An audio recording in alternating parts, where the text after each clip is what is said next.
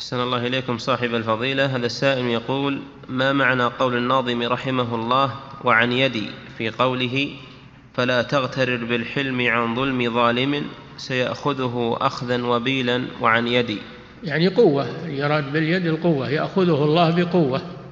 نعم.